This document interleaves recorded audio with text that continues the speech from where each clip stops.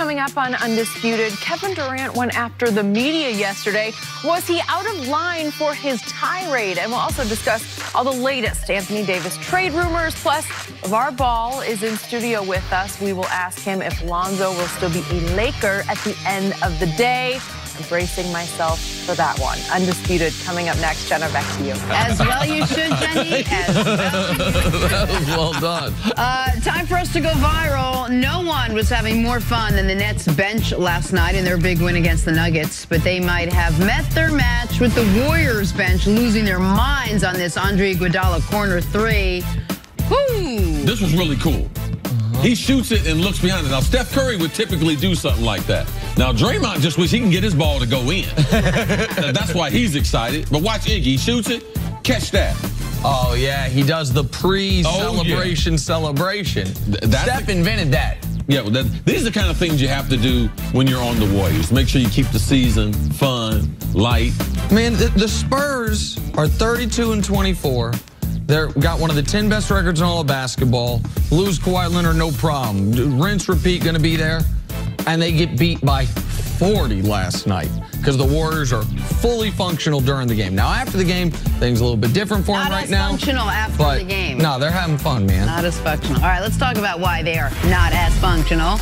They crushed the Spurs, yes, by the aforementioned almost 40 points last night, 39. But that turned out to be a footnote to the bigger story, and that's Kevin Durant, his post-game press conference. The first one he's agreed to do in eight days. It lasted only three and a half minutes. Took a turn for the worse when he was peppered with questions about his impending free agency. Take a listen to Kevin Durant. We've noticed that you hadn't talked for a while. Um, is it anything to do with anything on your mind, or has it just been coincidence that you haven't talk what, for some time? Why do you care? Because you usually talk. Oh, well, I, feel like, I didn't feel like talking the last couple days. It was anything in particular? No, I just didn't feel like Had anything to do with conversation about free agency? Yeah, that's the conversation you're going to have.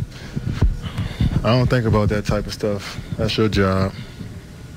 You've obviously been around the noise for so long. Is it bothering you more this year? Is it louder this year? It's unnecessary you got to do Ethan Strauss, who come in here and just give his whole opinion on stuff and make it seem like it's coming from me. And he just walk around here, don't talk to nobody, just walk in here and survey and then write something like that. And now y'all piling on me because I don't want to talk to y'all about that. I have nothing to do with the Knicks. I don't know who traded Porzingis. They got nothing to do with me. I'm trying to play basketball. Y'all come here every day ask me about free agency, ask my teammates, my coaches, you rile up the fans about it. Y'all let us play basketball. That's all I'm saying. And now when I don't want to talk to y'all, it's a problem with me. Come on, man. Grow up. Grow up. Yeah, you grow up. Come on, bro. I come in and go to work every day. I don't cause no problems. I play the right way, I try to play the right way. I try to be the best player I can be every possession. What's the problem? What am I doing to y'all? You weren't talking. You weren't talking to media. So, who are you? Why do I got to talk to you? Tell me. Does that is that gonna help me do my job better? Nah, bro. I didn't feel like talking. I mean, how do you how how are you playing? How's the team playing in the last I, couple weeks? I'm done. You know you don't care about that. I just asked you. All right, Nick, what was your reaction to all of that? All right, first let me give a little context because he's, yes, Kevin Durant hasn't talked and he hasn't talked since Kristaps got traded, but he was reacting to an article written by Ethan Strauss, an article that talks about his pending free agency, the belief that he's going to New York, and has a section in there about Durant's own personal frustration with not being considered the best player in the world. And that's that's what he's lashing out at. Let me just let the audience know who Ethan is. I don't know him personally. He and I actually have had a kind of back and forth that wasn't necessarily the most positive on Twitter back in the day, but he is a great reporter. He's a reporter that when he got laid off by ESPN, Steve Kerr did a press conference talking mm. about what an outrage he thought this guy it was that this guy got laid off. The Athletic then scooped him up. He's co he's covered this team longer than KD's been on this team. I only say that not just media defending media because he's not making things up. Okay, Kevin Durant's not lashing out at, at, at anonymously sourced mm -hmm. bogus reporting. Right. Kevin Durant's upset at two things. One, that people are speculating, informed speculation, that he and his business partner Rich Kleiman are setting up shop and getting ready to set up shop in New York City, and two, that people are reporting, informed reporting, that Kevin Durant has expressed to people close to him how frustrated he is that he went to Golden State not only to win rings, but because he thought winning a ring was the only reason, having not won a ring was the only reason he was not considered the best player in the world.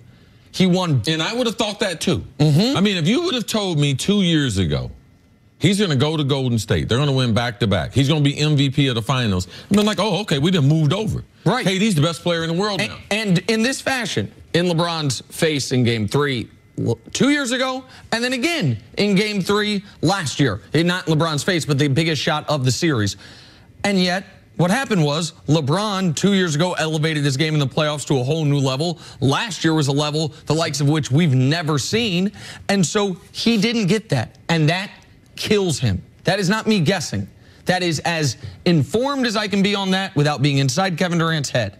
And so he is lashing out to those two different things. But what he is saying, see, is illogical.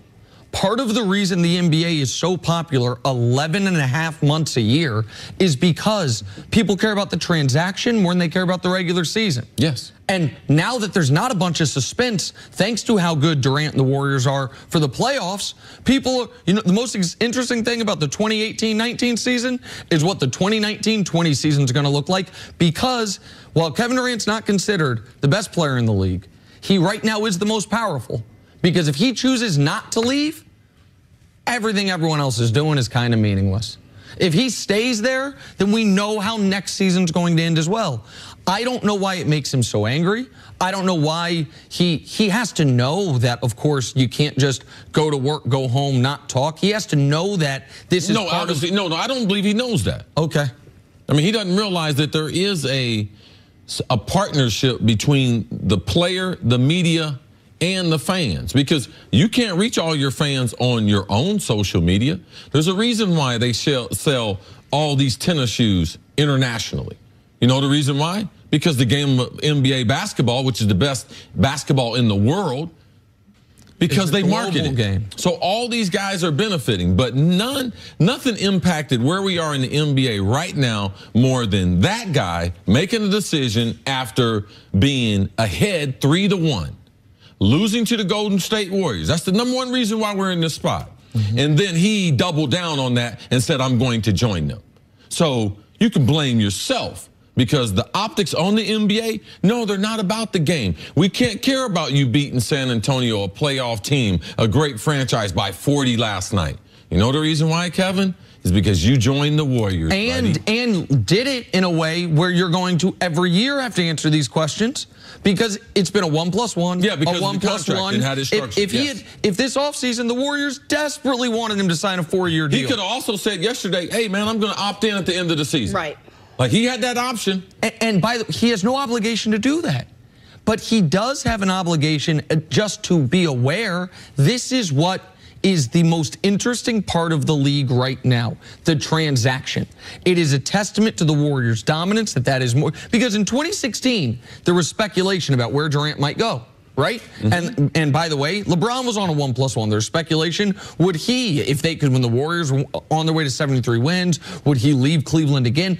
But it wasn't deafening because we thought OKC could get their first title. Would the Warriors win mm-hmm. back to back? Could LeBron win his first in Cleveland? and how he was handling it with the local media, that he wasn't going to be discussing it. And he also didn't have a teammate that told him in the middle of the game, why don't you leave right now, compared to wait until the summer. Much of this changes if he comes to New York, though? The media is going to be it, it, as bad, if not worse, as far as at mm-hmm. least wanting to be there every day in his face. Look, there's the, the pressures on you just as much, and it might be a little harder to win. Well, this is where Kevin Durant, and this is where I actually empathize with Kevin Durant. Kevin Durant really does just want to go play basketball. That part is true. That he wants to play basketball. When he says I, he almost it almost sounded to me childlike when he's like, "What?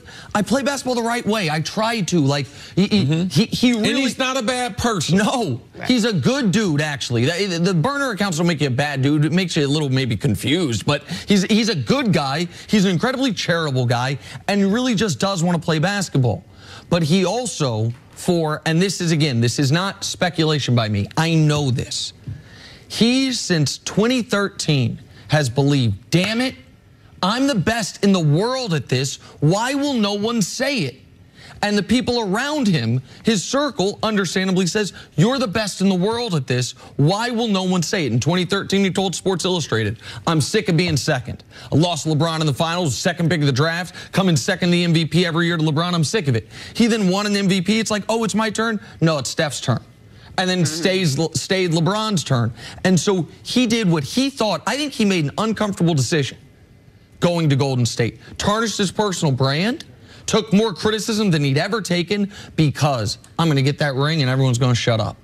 And now it's 2019 and Ethan Strauss is writing, not only am I second in the league, I'm second to Nike. Nike won't even say I'm number one. And it, he lashed out. But what he said was irrational. Wait, why do you care? What are you talking about? He says we cut it off part of it, but he says, "See, ask me about basketball. If you guys want to talk about basketball, ask me about basketball." Oh, he asked him a good question. The reporter says, "How do you feel like you're playing? How's the team playing the last couple of weeks?" And then the most honest thing he said the whole time.